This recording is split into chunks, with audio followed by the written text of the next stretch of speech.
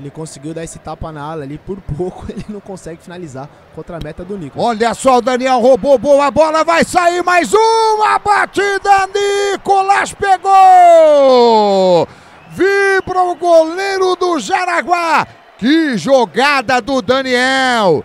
Que chance teve o goleiro, olha só um lençolzinho e tudo ali em cima do Eca.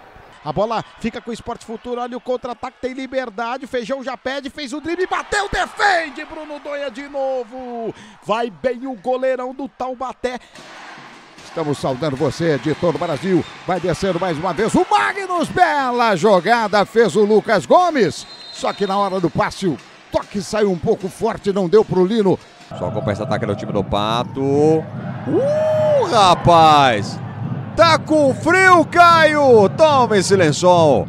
Tentativa da jogada individual. Bola ajeitada.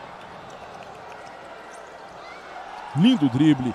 Quase um golaço do Heitor. Bola foi para fora.